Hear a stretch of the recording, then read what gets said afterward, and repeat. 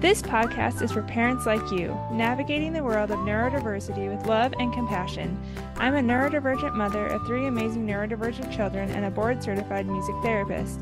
Our mission is to create a supportive space where you feel understood, connected, and inspired. With practical tips, strategies, and resources, we'll help you and your child thrive in your unique way. Join us as we dive deep into the diverse world of neurodivergent individuals, exploring topics like ADHD, autism, dyslexia, sensory processing challenges, and more.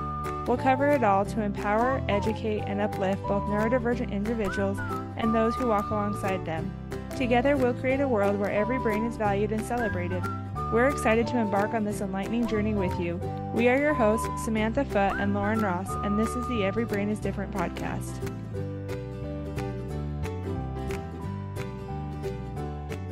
Welcome to the Every Brain is Different podcast. We're here with Jennifer Becker, and Jennifer has been a high performing leader not only in the corporate world, but when she went on to work for herself as a consumer goods manufacturer's rep, she continued working on being a high achiever in her field, earning accolades as a top performer. As she was working to get a diagnosis with her daughter, not only did she learn that her daughter was suffering with ADHD, but she as well was diagnosed with ADHD. Welcome to the show, Jennifer. We're so excited to have you. Hi, it's Samantha and Lauren. Excited to be here. Yeah, can you tell us um, more about how you're involved in the neurodivergent community? Sure. Um, so my kid, kind of my youngest daughter, kind of got marked as like the problem kid, or you know, she had behavioral issues. And I would, I remember actually, it was her first day of kindergarten. She got a note home and I had never even seen this note card. They they called it um, the traffic light card, and she was marked red, and I didn't even know they had these. And my older daughter had gone to the school for three years prior, so you know, from the very first day of kindergarten, she got marked. You know, struggles to follow directions, and was told not to run in the wood chips, and did it anyway. And then you know, little things happened in first grade, and then second grade was the year COVID hit. And even on Zoom, you know, our teacher was constantly, Jillian, put the dog down, or Jillian, do this and do that. And you hear on Zoom, and as you're, you know, all of a sudden, like your mama instinct steps in and you want to, you know, stop doing that to my kid publicly. And um then we moved and then we started at a new school and same thing like getting notes home that you know she wastes time and I don't know why it never occurred to me at that time to think, well, maybe there's a problem, or it didn't occur to a teacher to say, maybe you should go have her evaluated. And I guess as a parent, you don't know what you don't know, is what I've learned. And, you know, I carried a lot of guilt about it. And it wasn't until um, she entered sixth grade and was, you know, in middle school and switching to six different classes, I got a call from a teacher who said, have you ever thought about having your daughter evaluated for ADHD?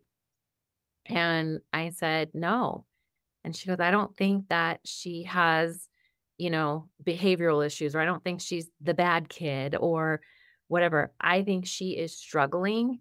And I would love for you to have her evaluated. And she said, We we can't technically tell you what to do. And she said, I know a lot of parents live in denial. And I said, No, I'm not in denial. I'm totally open to it. And um, turns out one of her children, you know, thrives in the neurodivergent community, but she was just seeing signs that reminded her so much of her own child. And sure enough, we get her evaluated. And oh my gosh, there were so many things that were basically tied to having ADHD. And um, I tried a lot of natural things first because that's my personality. So I'm like a half crunchy mom and tried to up the dose of omegas and I made sure, you know, we didn't have any toxins in the home because I was reading that could be a trigger. And finally, it got to the point where she said, I really think your daughter would benefit from being medicated. And I think as parents, we try to avoid it as much as we can. And they kind of use the analogy, you know, someone had high blood pressure and they just couldn't manage it without medication,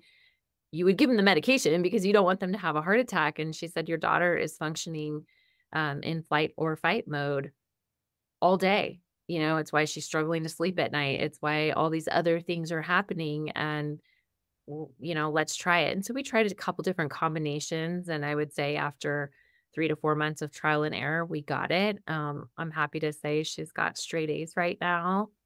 She is thriving. Teachers are realizing that, you know, she's not, I hate to say like the bad kid, but that's kind of how teachers peg them, you know, the disruptive, yeah, yeah. the bad kid, the troubled kid.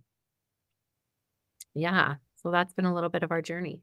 Yeah. I'm so glad you talked about how you you know you don't know what you don't know and i feel like teachers also don't know what they don't know and for so long they've just been like well this kid has behavioral issues and we haven't looked deeper into why they have behavioral issues and every behavior i i don't think that kids want to be bad kids like bad in quotes you know? They don't want to misbehave. They are doing the best they can and so if we can look at the underlying reason why they're having that behavior is very beneficial for them and for us as parents and providers and all of that because once you looked you know once you got the diagnosis you're able to get her help and i really like that you talked about how it took time to find a medication that worked because so many times we the med the first medication you use doesn't work. It's so different for each individual. I know when i went on medication for um, ocd it took me like almost two years to find the right medication. But when once I found it, man, I'm golden now. so I really appreciate that you talked about that. And well, and that was one of the things I reached out to you for because I said, Oh my gosh, this is making her almost lethargic and so sleepy and so tired. And yeah, that then tell the therapist it's not the right medication. And so again, even that as a parent, you don't realize it is a whole trial and error. And had I not and I kind of just casually mentioned it to you that day, and you're like, "Oh, that happened to my son. Go do this, or go ask yeah. for this, or this." And so it is a trial and error for sure. Yeah, because I didn't know when my son went on medication, his behavior got a lot better, but then he started um having like what looked like seizures but they weren't it was just like absent seizures so he'd just stare off into space and his brother had epilepsy so i was like oh maybe he has seizures you know? And then i realized that it was his medication that was chilling him out so much that he was just spacing out and i was like oh well this this is a problem. So um yeah you definitely have to do trial and error with medications and work with your provider for that. I really appreciate that you brought that up Yes, it takes time. Yeah. And even as an adult now, like I said, being, you know, then as we went through the whole thing and I ended up with a diagnosis as well, I look back on my childhood on things that were a real struggle for me or, you know, a simple task of cleaning your bedroom and how overwhelmed I would get and you know, sending me to my room and telling me to clean it when the mess was so overwhelming was just I would just sit and stare because I couldn't figure out where to start. And it's funny in so many areas of my life. I am, you know, high functioning, high performing, but then um, I have a friend who jokes, she's like, I like to see the cluttered areas of your life because it makes me feel better. And I said, it's always in the areas you least expect. Like our closet is, you know, pretty big and it'll become the dumping ground.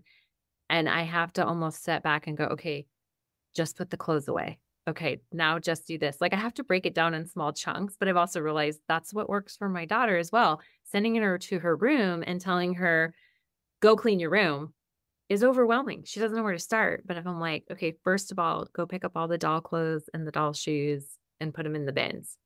And then we do that. And then we do the next task. Okay, next, let's pick up all the laundry that's on the floor. okay, next, you know, so it's, it, it's a lot of learning but then you know as an adult i'm like oh that's why that was happening. Oh that's why i was so frustrated with that. Yeah i remember it took me all day long to clean my room and my mom would tell me to clean my room and she finally had to be like if you don't clean your room you're not going to your friend's house. And then that was the motivation i needed to like get it done but i would take everything out and then I'm like, I'm gonna organize it as like a little kid, you know, it's like I'm gonna organize it. And then I would get so distracted by looking at everything and be like, oh, that's so fun and that's fun. And then I would just lose all motivation and just sit there and stare at everything and just yeah. not do anything. And I, so I know you and I have always been impressed by how you manage things and how on top of things you are. And then the day you told me about your doom piles, that made me so happy. I was like, oh my gosh, she doesn't have everything together everywhere. There's certain areas of my life I feel like I can just totally master and kill it. But then, you know, you go look at my desk and that's where I say the doom piles live. And it's like, yeah. I know where things are. Like that's the pile of bills. That's the pile of papers that come home from school that say like order the yearbook or do this or do that. That's the pile that I got to look at. But it's hard to tackle the piles. Yeah, yeah. And I think that's important to remember that you, someone on the outside might look like they have it all together. They're super organized in all areas of their life and they don't struggle with anything. But there's a lot of masking that goes on, or not even like, I don't even think you were doing it intentionally, like, you know, just trying to put on this show for everyone. But I don't know, you might have been. But um, just know that people with ADHD, they call it like high functioning, low functioning, whatever. But the person experiencing it, it's not like higher or lower. They're experiencing ADHD, you know? And so that people label them high functioning or low functioning based on how the other person sees them, which I think is super important. It doesn't mean that you're not struggling. Like I struggle so much with doom piles. I didn't open my mail for probably two months, and that that is not okay. No, But yeah, and I opened it. I was like, "Ooh, I should have opened." But I was just so overwhelmed with my life in other areas that that was an area that I was just like, "Nope, not gonna touch it," and I would just put it in a pile. So, um, yeah. two, two of the worst things for me are mail and laundry. Oh yeah, And it was a strategy that I had to master. And now I do a load of laundry a day and people think it's crazy. And I mean, don't get me started. Is it wasting water? I'm like, well, we do have a water efficient washer, but I had to learn it is easier for me to do one load a day, whether it's full or not, than try on a Saturday to do eight loads of laundry with two kids who, oh my gosh, I swear they wear like three outfits a day because they play sports and they change their clothes and this happens and that happens. And and then it was, it was just, I'd be so overwhelmed on a Saturday that I'd rather lay in bed and watch Netflix because I couldn't tackle the piles that accumulated through the week. And I did that too. I just kept throwing mail in this bag in our closet, thinking, I'll get to it, I'll get to it, I'll get to it. And then I finally got to it. And I'm like, oh, here's a check that's past 180 days that we can no longer deposit. And you know, those embarrassing things when you have to call and go, yeah, you know, that check you sent, I need you to reissue it because I just couldn't deal with it. yeah. And that's important to remember. I just love everything that you're bringing up. Like, find the strategy that works for you, even if other people judge you. Find the mm-hmm. strategy that works for your kids. Like you were saying with your daughter, you know, like, okay, we're going to do this first, and then we're going to do this. And I know it can be frustrating with kids because I tell my son to go clean his room, and really the only thing in his room that needs cleaned up are Legos, but there's so many Legos that it overwhelms him. And so he's like, Can you do it with me? And I'm like, Yeah, I'm going to be cleaning in this other part of the house while you clean your room. And he's like, No, I need you to be with me. So I help him clean up his room. But There's something to Yeah. that though, because even cleaning my own closet, my older daughter wanted to help me. And at first I thought, no. And then I realized actually, when someone's sitting there with you, it does happen faster. And there are times where I'm literally sitting on my daughter's bed. She's actually doing all the work. I'm not really doing it, but it's because I'm in the room and I'm able to say, Yeah. okay, first do this. Okay, now let's tackle this. Okay, now let's, you know, organize your crayons and your markers and put those away. And it gets done faster, but it is strategy. And then having those around you realize they need a strategy to get through the day. I think, you know, my parents are a big part of her life. And in the beginning, I think too, even my own parents looked at me as, you know, you catered to her. Well, I have to parent her differently than my oldest. They are two totally different kids, and the same strategies don't work for both kids. And she does have a routine. And if we go off that routine, mornings don't go well. And Yeah. so, you know, if my husband and I are traveling, it's a whole list for my mom of like, wake her up at this time. She likes to do this. And she likes to have an entire hour and a half in the morning to get ready for school. She gets ready in 40 minutes, but she wants that extra like 40 minutes of sitting there and relaxing and having her time. She's not someone that you can say, hurry up, grab your shoes, grab your jacket, let's go out the door.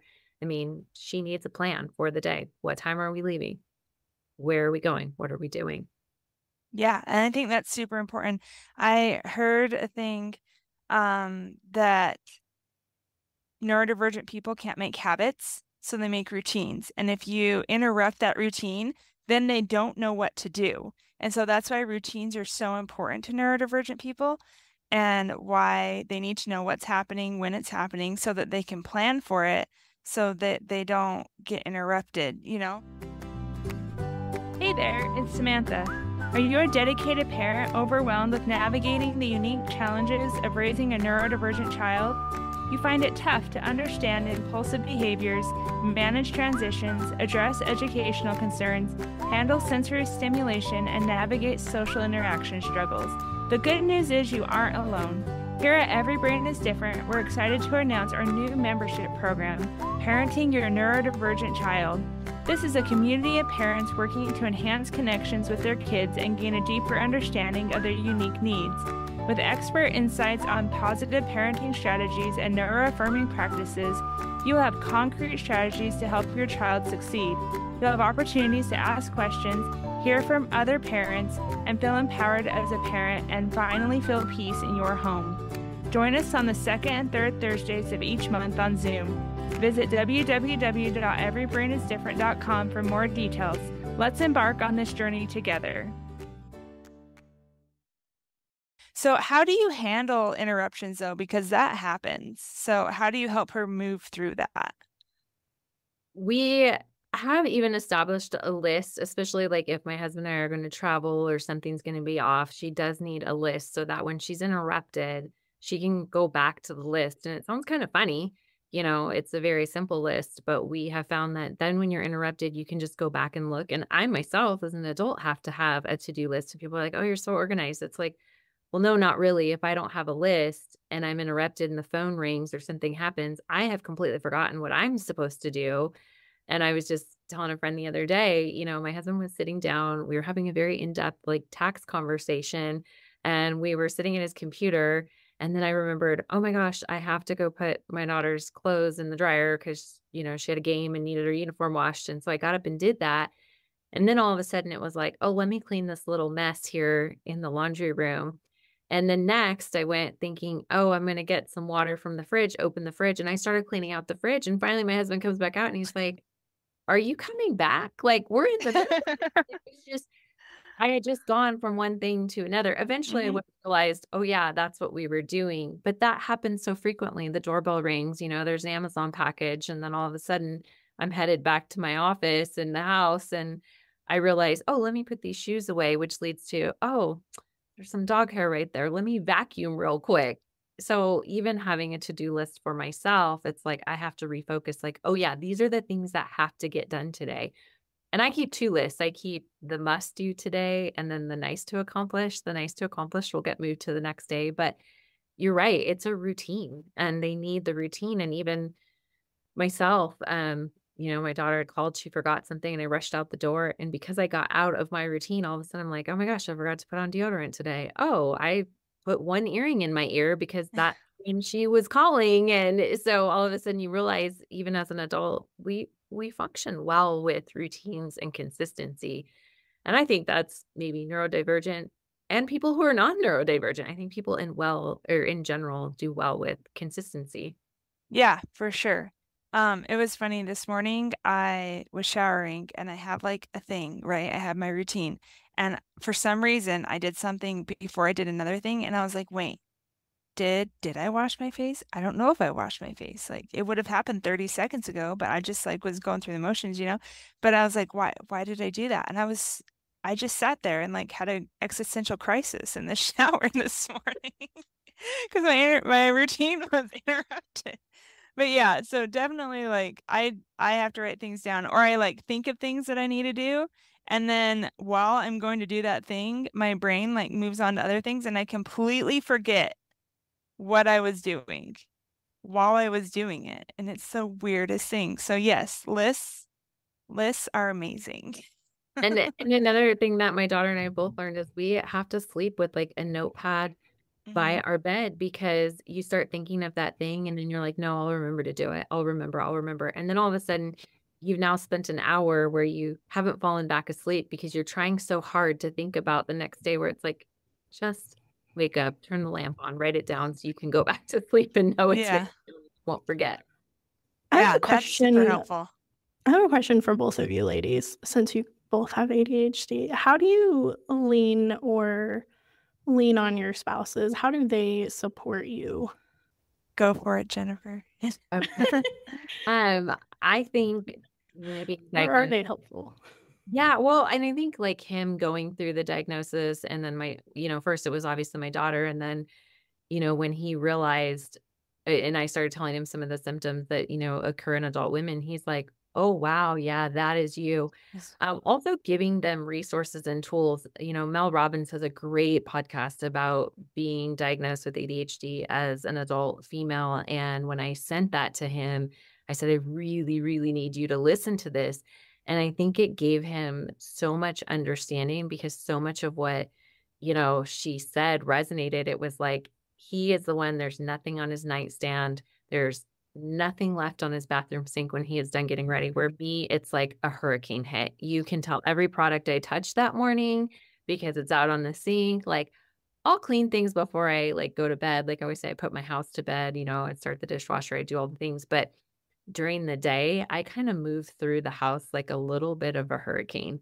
And then after listening to that podcast, I think it's given him such a greater understanding and even finding different podcast this podcast there was one you had someone on Samantha I can't remember but I just thought like oh my gosh they explained that so beautifully and you know sending that to your spouse and and just helping them have a few tools to understand okay this is normal for them and we may have to adapt a little bit around them and, you know, it has been great for my husband and my parents understanding more of ADHD, understanding more of neurodivergent because we all function a little differently with my daughter. Even watching my 15 year old daughter have more, you know, I think more empathy. I don't want to say sympathy. We're not feeling sorry for her, um, but we're having more empathy of, oh, that really affects her negatively when we're raising our voice and we're rushing her. Like instead of, moving along quicker, she moves slower. She just shuts down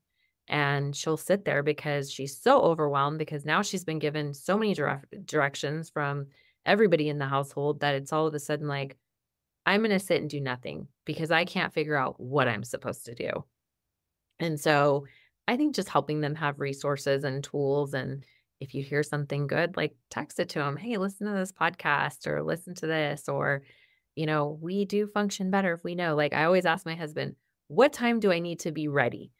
And he's like, well, like today, my daughter has a softball game. And so he wants to make sure we're ready. We're out the door. He likes to get there a certain time. When it's me going and he's out of town, I'm like that mom running in right as game is starting. And so he said, well, the game's at five. And I'm like, no, what time do you want to be ready to leave the house? That is what I need to know. I don't need to know what time the game is. I need to know what time you want to be ready because in my mind, leaving at 4:45 will be fine. I know it takes us 10 minutes to get there. In his mind, he wants to be there at 4:30. He wants to make sure we have time to park the car and, you know, get the chairs and get a spot and this and that. So I'm always like, no, I don't need to know. I need to know what time do you want to leave the house? And I'm noticing my daughter's the same. It's like, what time do I have to be ready? Because um, her and I are always backing up time. Like, okay, if I want to leave at 4:30, then I better start getting ready at this time, and I got to do this before. Like, we I always work it backwards, where he's just like, I don't know, it's at five. Just be ready. No, I know that's not in his right to know what time. Just tell me what time to be ready. I'll be ready.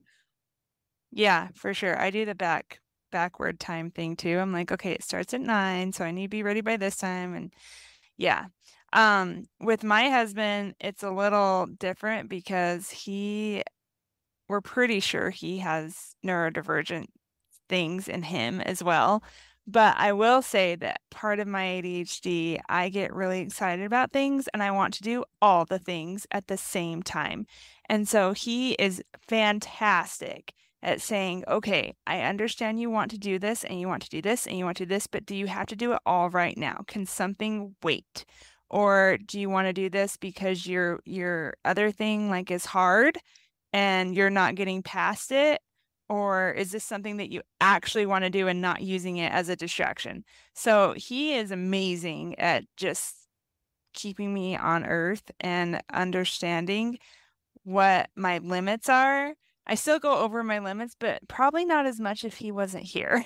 so yeah, that's but yeah, he um we both through moved through our house like a hurricane, so that's a problem. But we're working through it. well, that's another strategy though. Like Yeah.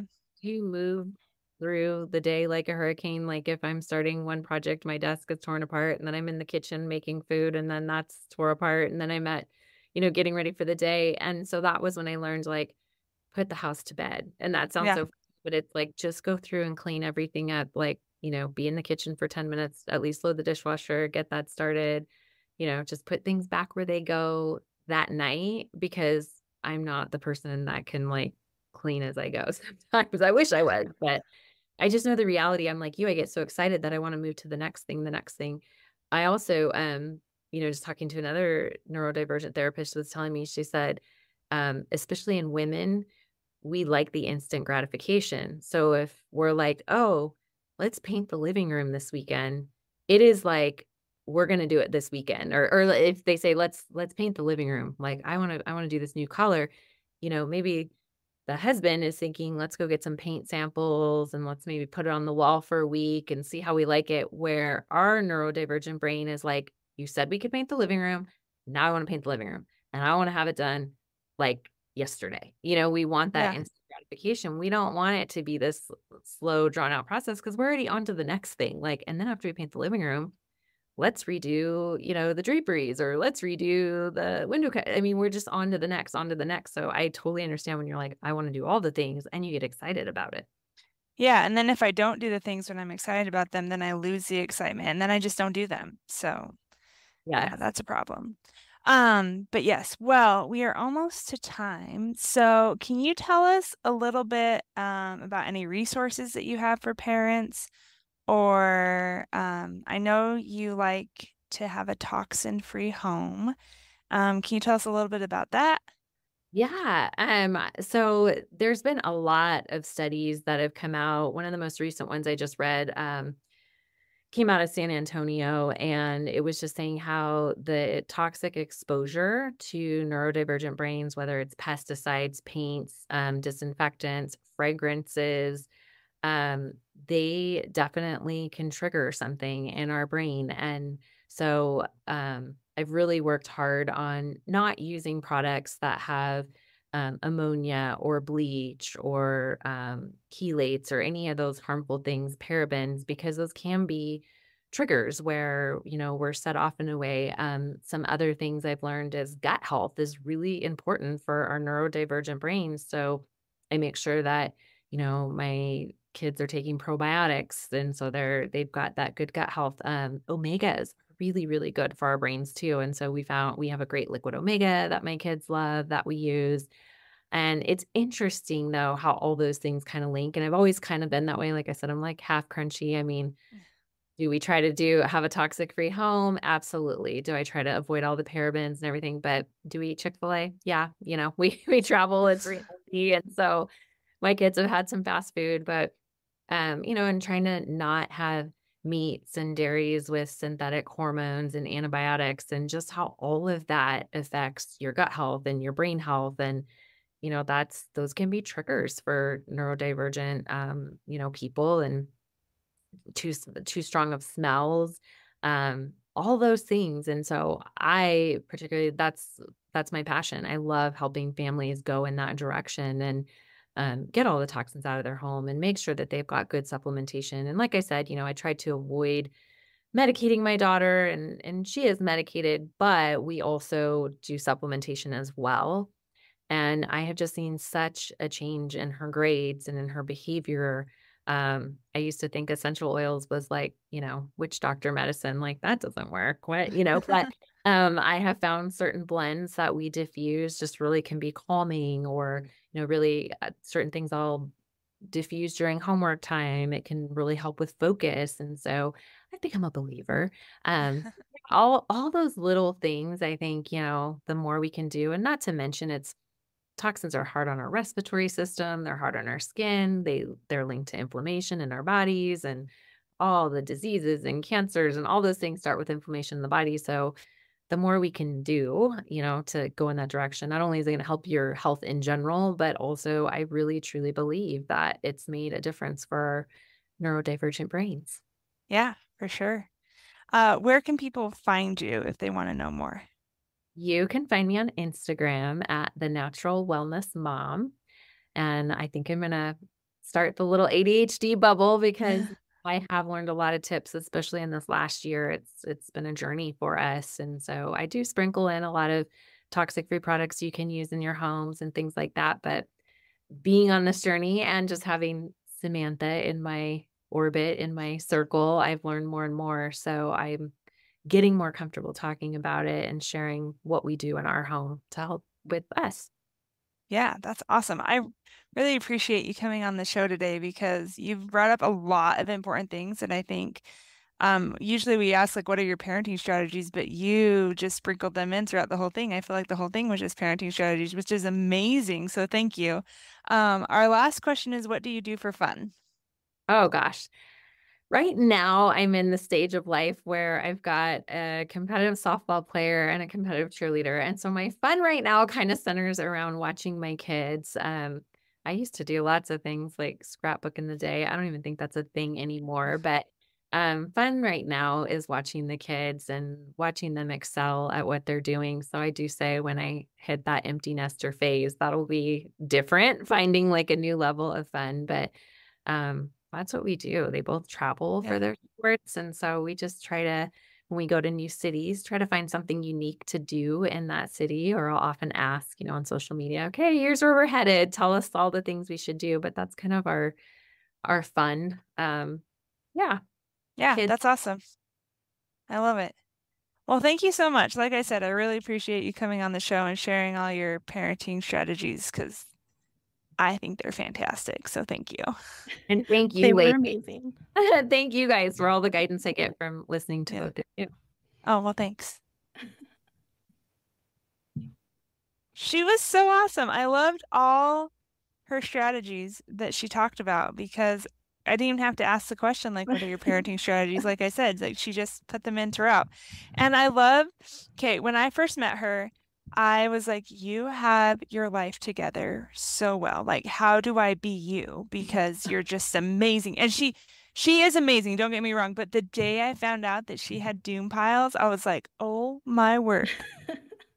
like, I feel so much better about my life right now. She, she's just very impressive to me. So. I, I think it's important for everyone to remember that everyone has struggles, whether they show it or not, and that yeah. no one is completely perfect. Um, I really like how she touched on that again with the every brain is different. Uh, not everything is going to work for some people. And so parenting her daughters differently, I'm going to have to parent this way with her. I'm going to have to break things down. I'm going to have to be more patient, you know, things like that. And I think that's important to remember as a parent is that your children are not the same same yeah. and that the different things are going to work um, and not work. So it's important to keep that in mind. Um, and then something that you said that uh, kind of sparked some thoughts is that you uh, when you're talking about how some people see people as like oh they're higher functioning or they're lower functioning and that's our perspective um, but for the person who's actually experiencing it, like that's their life. They don't think of it as high or low. Like that's what they're experiencing in the moment. And um, I think that's something important to remember for us, like on the outside. Um, kind of when we think in those terms of lower functioning, higher functioning, whatever, that for that person, like that's them. like that's their yeah. life. Um, yeah, I, I think yeah. Sorry, I interrupted you. No, you're fine. I just I I just think it's something to think about, people. yeah, and I've heard it's that was definitely not an original thought of mine. I've seen it throughout like social media and stuff. But someone said, I've heard people say, "Oh, my son isn't as affected by autism or ADHD. He's, you know, he's not very affected by it." And I just don't think that's true because you don't know the coping skills that your child is doing. You don't know the masking that they're doing to appear to be yeah. not as affected. all the know? internal stuff that's Yeah, happening like yeah. we don't know Yeah. And so just be aware that just because someone presents as quote unquote high functioning, that doesn't mean they're not struggling. It doesn't mean, you know, that they don't need support. Um, exactly yeah. So I, yeah, that's just, it made me feel a lot better when she said that sh when um she's cleaning, that she has to, you know, break things down and that when she was younger, she couldn't just go in and clean her room, you know, because like I remember so vividly all the time when my mom was like, just get your room clean. And I'm like, I can't. She said- easy She said, yes, you can. Just clean your room. And I'm like, I can't. And I would, I would take seriously all day long to clean my room. And she's like, that would have taken you like five minutes if you just done it. And she was, she didn't say it like that, but that's how my brain. that's how you perceived it yeah Yeah, yeah. And so, and she would help me, you know, after a while, but I was like 10 years old. I sh- I won't say I should have been able to, but like I felt like I should be able to, and I didn't know why I couldn't. Mhm. So I'm trying to have that patience with my kids now, the understanding like they literally can't do it by themselves. Um, So- I, and I think it's also uh, important to remember, um, and I'm gonna bring in my some of my training talk that we talk about. Yeah. Like uh, learned helplessness is sometimes we, you know, clean your room. It's really easy. Like you should be able to do this. It's just a few things, and for us, and like it may be really easy, but for the person who has to do it, it's not. Like it's a huge one, like huge task. It's not that easy for them, and then they hear people saying it's easy. Why can't you do this? This is super Mhm. simple. And and then you just instill like this helplessness that like i can't do it. What's wrong with me? Like they're telling me this is easy but like i'm struggling. And so i think it's important when you are trying to get a child to do something or teach them something new that we're mindful of our language uh, Yeah. to refrain from this is super simple and you can do it and it's like okay well, this is what we're going to do and we're going to break it down and what do you need Yeah, yeah. like and so i think that's important to remember Yeah, and remembering that sometimes kids can't tell you what they need, they just know Yep. they need help. I know that my son, he will not tell you what he needs, but he will not be able to do it. And so I just have to step in and be like, okay, I'm going to help you do this and this and this. And this is how we're going to get it done. Because sometimes they just don't even know why they can't do it. Like I didn't know why I couldn't do it. I just knew it was overwhelming and I didn't know what to do. yeah So, exactly yeah. so But yeah. Well, thank you all for listening today. Let us know how you liked it. Um, yeah, leave a review. We appreciate those. yeah So have a good week, everyone. Thank you for listening to this episode. We hope the discussion on neurodiversity has provided you with support, understanding, and inspiration. If you found our podcast valuable, please share it with others who may benefit from our insights and leave us a rating and review on Apple Podcasts. Hit the follow button and let's keep exploring the fascinating world of neurodiversity. Click the link in our show notes to visit our website for a free download of three tips for a stronger relationship with your child.